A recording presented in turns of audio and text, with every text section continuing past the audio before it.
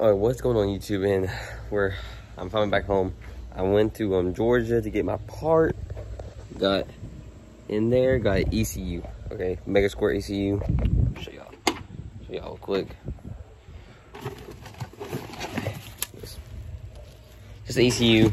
Um, so what I'm gonna do is install it today. First, what I'm gonna do is I'm gonna take the I'm gonna disconnect the battery I'm pretty sure I gotta do is just make the negative, but I'm gonna re like disconnect, put the positive and the negative, just in case. I don't know, I'm dumb. And then on a this is an NB Miata, so the the, the um the ECU's up here. You see, it's a bunch of wires plugged into it. So for my sake, I'm gonna take the seat out so I have more room to work on under there because it's like this car's tight. So I'll, get back to you when I get that disconnected, get the ECU disconnected, and everything else. Okay, well, it's been like six hours since I made that last clip, and I, forgot, I, I just totally forgot to make a video. I was just so focused getting done. So far, I got the car running one time, and it's killed itself, because this is my fault. Don't mind the hair, it's messy. So, um, after so first of all, it took for like 30, took me like 30 minutes to get the ECU out, the original one. Um, there's two, there's three, um, clips. Take three clips out. That's, you know, wiggle it back and forth. I wish I knew that before, cause it was, I'm trying to pull it out, yank it out, won't work. But yeah, they wiggle it back and forth. And then, um, there's a, a bolt that, or a nut you can easily see. And there's a nut that's hidden. Have fun trying, try to have fun and get that one. And, um, get the vacuum line, cut it. I'll, I'll just, I'll show y'all tomorrow. Tomorrow, I got school tomorrow. Hopefully, I, I might just see if I can skip, but probably can't. Um, there's a, um, oh, what is called?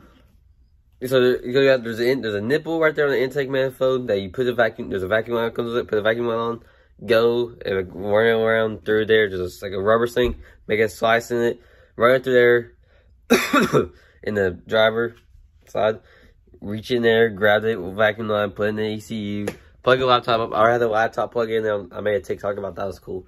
Like the you, you press the throttle, it's like shoot up. It's pretty cool to see that. And but I wish I got a cord that's longer because it's like very. I'm like reaching all the way down there. But um, I'll show y'all tomorrow. Hopefully it's not raining because it started raining on us. So I had to get the top up because I had the top down so it's easier to work on the car. Um, so far it's if you know what you're doing, it's easy. I wish I knew I was doing it before but it took us a long time. And also, you got to zip tie the, the ECU up there. If you know what you're doing, reroute it, which I don't know what I'm doing, so I'm just going to keep it there. So you got the zip tie back where the original one was. You can't put it on the brackets unless you want to drill holes in it and ruin your $1,000 ECU. Anyways. Um. So tomorrow, also tomorrow, so got, oh, so this is what happened. So I started the car up without checking the timing first. So, so you're supposed to take the chime, check the timing on the, um, on the spark first spark plug, spark plug wire. Check the timing, make sure it runs good. Well, um, some of the instructions, some of the steps below that, it says go in the, the tuner studio and change the timing to 10, 10.0, not 20, because it's on 20 like automatically for some reason.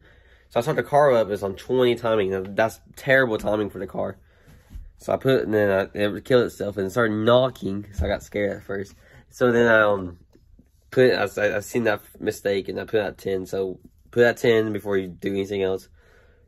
Tomorrow, so gonna take the cold air intake off, see the timing, make sure the timing is good, and um, start the car up.